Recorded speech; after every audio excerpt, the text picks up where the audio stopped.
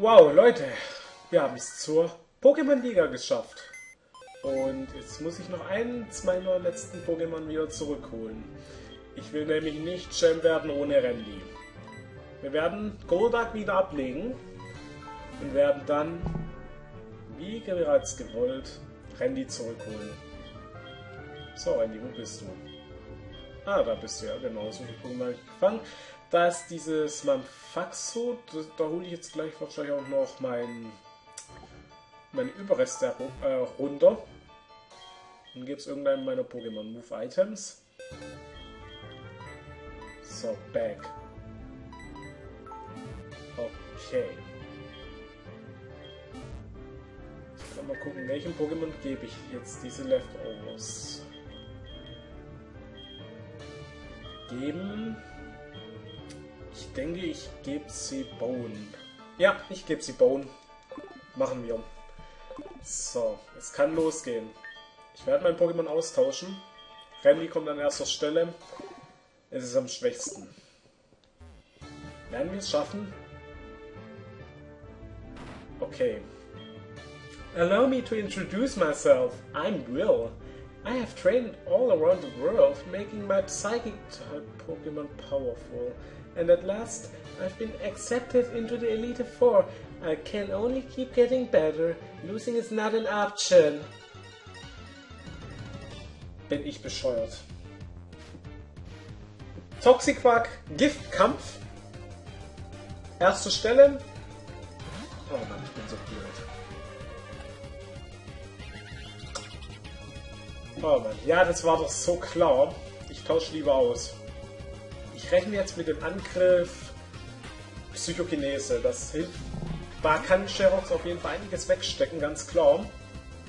Und ich sehe auch die Level bereits schon. Sind nicht wirklich hoch, aber dafür können sie schon ziemlich draufhauen. Aber das war auch ein Critical Hit. Das zählt nicht. Ich gehe mit Accessor ein. Und es kommt Todeskuss. Subi. Ich werde die Zeit dazu verwenden und werde wahrscheinlich einen Aufwecker verwenden. So. Und in der Runde müsste sie nochmal angegriffen haben. Vielleicht haben wir dann nur noch ein Drittel unserer KP und dann... Oder auch nicht. Oder wir könnten auch total vernichtet werden. Aua. Wo sind wir Erster? Greifen wir als erstes an? Ich will es hoffen. Nein, wir greifen nicht als Erster an.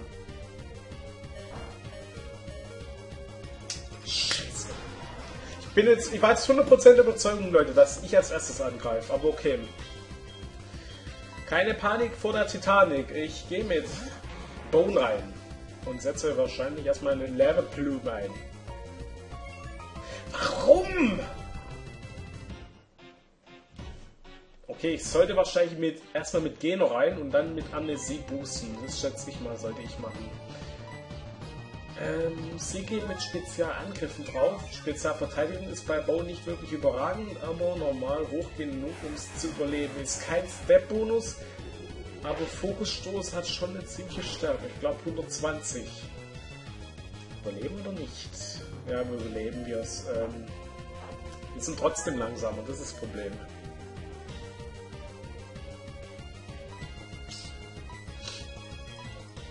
Gehe jetzt von aus, es wird wieder Fokusstoß einsetzen. Ich hoffe, der Fokusstoß geht daneben. Ich werde mit Gähner reingehen. Und es geht daneben. Ich kann Gähner einsetzen, ich kann mich heilen und dann in Ruhe mit Amnesie boosten. Und dann haben wir normal überhaupt keine Sorge mehr zu verlieren, außer es kommt das Pokémon Galagladi. Das könnte jetzt gut passieren. Ähm, wir gehen jetzt erstmal mit einer Hyper Potion rein. Jetzt wird es wahrscheinlich wieder mit Fokusstoß angreifen, da wird es vielleicht auch treffen. Interessiert mich aber nicht, weil es in dieser Runde dann einschlafen wird. Und in dieser Runde setze ich dann Amnesie ein. Oder Psychokinese, je nachdem, ist mir jetzt auch ehrlich gesagt schnurzpiep egal. So. Gut, es kann losgehen. Ich werde mich jetzt mit Amnesie boosten. Und nebenbei werden auch noch meine KP gut geheilt. Das ist schon sehr, sehr gut. Amnesie. Und das Gute ist, Amnesie erhöht ja meine ähm, Spezialverteidigung sehr, sehr stark. Und dann kann das Viech mir normal gar nichts anhaben. Und wenn jetzt 90% ihrer Pokémon nur aus Spezialangriffs-Pokémon besteht, könnte Bone es sogar im, äh, im Alleingang schaffen. Ist gut möglich, ist gut möglich. Schön. Ich erhöhe meinen Spezialverteidigungswert sehr stark und werde noch nebenbei geheilt. Ja. Gut, damit ist jetzt zu rechnen gewesen. Aber einen Fehler habe ich jetzt, glaube trotzdem gemacht. Ich habe keine Top-Genesung geholt. Fuck. Okay, ich hoffe, ich komme auch ohne aus.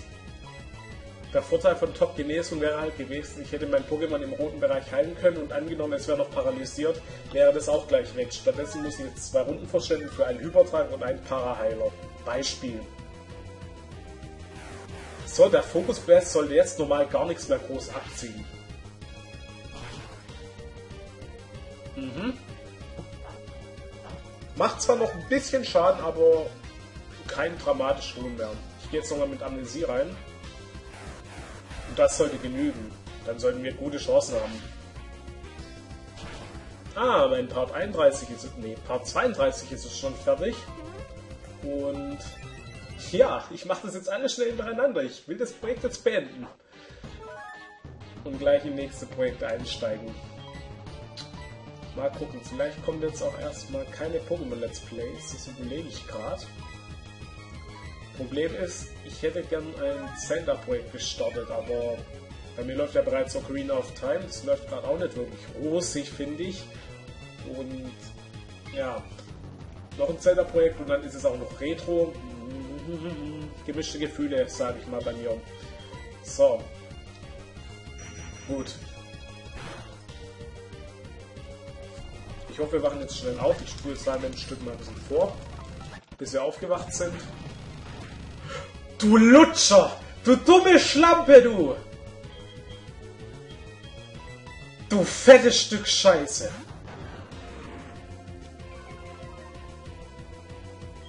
Ich fick dich auseinander, das ist mir jetzt egal. Ich bin so blöd. Dracheflug. Und dann noch Eis als Step-Bonus. Bin ich bescheuert.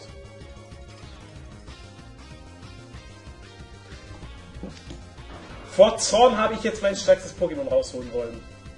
Aus, Zorns, aus Zornsgründen. Und das war gleich der nächsten Fehler. Ich.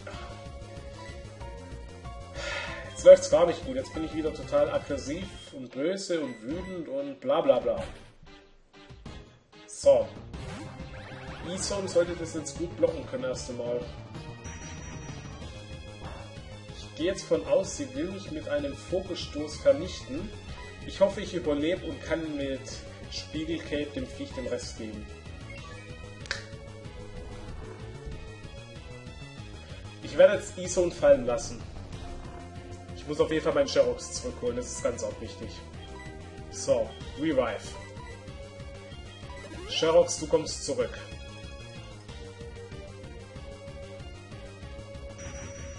Derweil kann es gern angreifen, das ist mir egal. Warte mal, ist Vogelstoß bei ihr schon Feierabend? Das hat natürlich einen riesen Vorteil, wenn jetzt ihren Fokusstoß schon bereits sein Ende hat.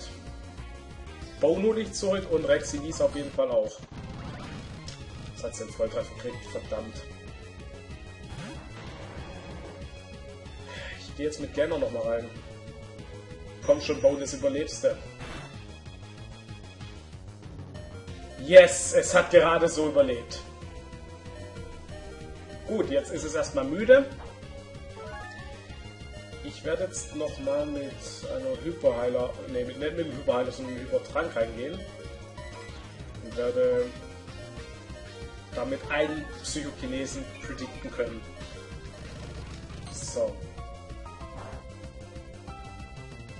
Gut, Schaden konnte mir jetzt auch nicht machen. Es schläft wieder. Und jetzt booste ich mich wieder ganz schnell mit Amnesie.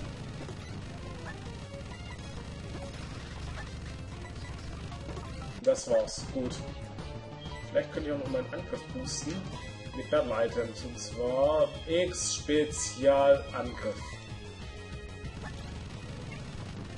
Vielleicht reicht es auch schon. Ich mache jetzt erstmal nur eins. Versuch's mal mit einem Heiler wieder.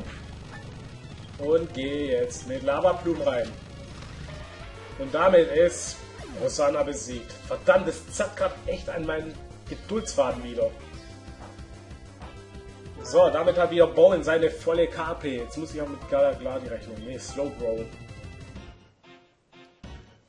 Okay, ich habe keine Angst vor dir. Vierfach Schwäche, Step Bonus, aber Amnesie, Maximum gestiegen. Ich werde erst mit Gel noch eingehen. Das Viech ist nicht blöd. Das Viech ist nicht blöd. Jetzt macht es dieselbe Taktik wie ich. Das werden wir verhindern. Ich werde jetzt mit Stone Edge angreifen. Es müsste sogar Bonn mit der Hälfte der KP überleben. Ja, genau richtig geschätzt. Stone Edge.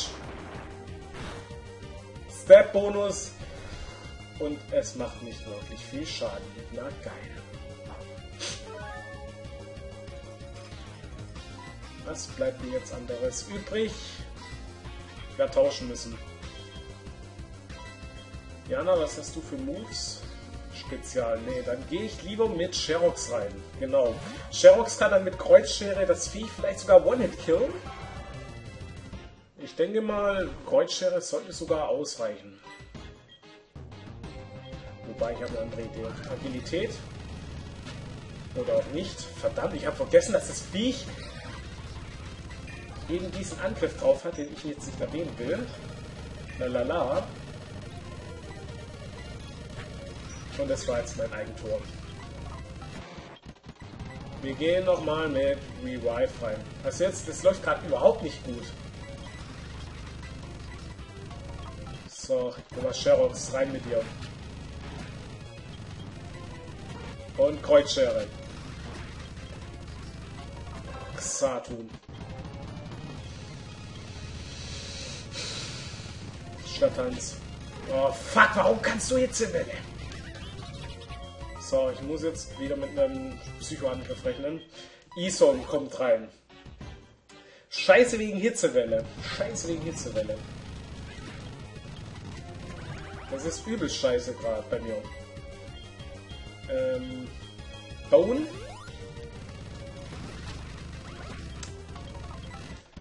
Ich versuche mal mit Rex Lisa. Ach, du kommst wieder rein. Oh, und ich habe sogar noch eine Runde frei. Dann hole ich nochmal den Flugtyp Ison rein. Und Rex Elisa. Versuchen wir nochmal Sherrox zurückzuholen. Interessiert mich jetzt erstmal nicht. Ich hole meine Pokémon zu weit zurück. Und genau hier hätte ich mir jetzt gerne einen Top-Genesung geholt. Jetzt habe ich zwei Runden zu verschwenden, um diese Scheiße zu heilen. Gut, ich versuche mal mit Dragon Claw und mache schon ordentlich Schaden. Scheiß drauf. Ne, nicht scheiß drauf. Oh, es läuft gerade überhaupt nicht gut. Ich habe gerade mal zwei ihrer Pokémon besiegt, oder? Ja, zwei. Und ich rechne noch mit Galagladi, Gardevoir, ähm, was noch? Was gibt's auch für Psycho-Pokémon? Ja, vielleicht Lempumentas, sowas. Mit sowas rechne ich noch. Oder Sonnenfüll, Lunastein, was weiß ich. Nochmal Folio.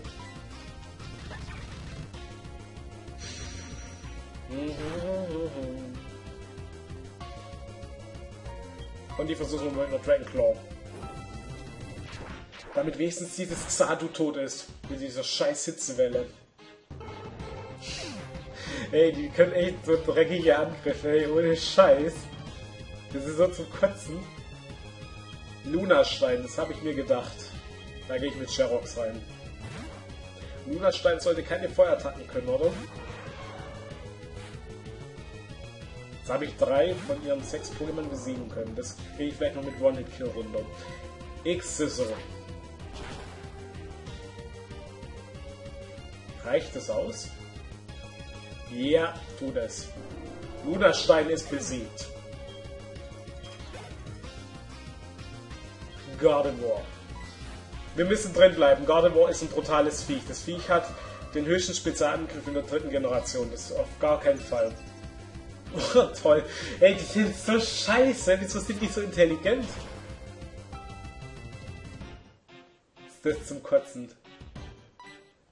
Die haben die Intelligenz von Nee, also ich sag mal allgemein, die Trainer hier sind in diesem Hack intelligenter geworden. Die wissen, wann sie zu tauschen haben. Aber einen Fehler hat Gardevoir jetzt trotzdem gemacht. Es hat jetzt meine KP unter 30% gelowt. Und damit sind jetzt Käfer-Typ-Attacken stärker. Solrock ist ein definitiv schneller, Kreuzschere ist ein Step-Bonus, ist eine Schwäche und wegen Hexaplaga nochmal eine äh, enorme Stärke. Wir werden jetzt gegen Will gewinnen. Was? Was? Was zum... What the fuck? Wieso ist ein Solrock schneller? Fuck you. Okay, dich mache ich jetzt fertig, das ist mir egal. Mache dich jetzt so fertig. Und zwar mit einer Crunch Attack. Komm schon, das muss doch dein Tod sein! Abschütteln, Rexy. Nein! Warum ist Solrock schneller gewesen? Ich rechne bei dem Viech mit einer Feuerattacke, ganz ehrlich. Interessiert mich jetzt ehrlich gesagt aber auch nicht wirklich. Ich gehe jetzt nochmal mit Sherox rein. Kalle, Kalle, ich bin in, beim ersten Top 4 Mitglied und alle meine Pokémon sind echt am Arsch.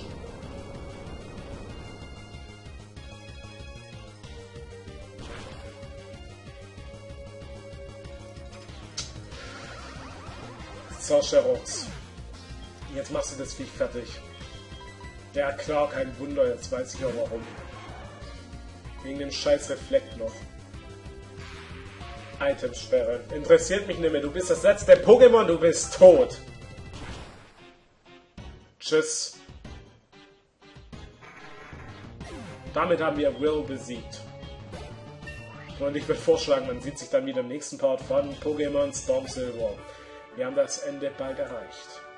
Bald haben wir es geschafft. Bald. Bald, bald, bald.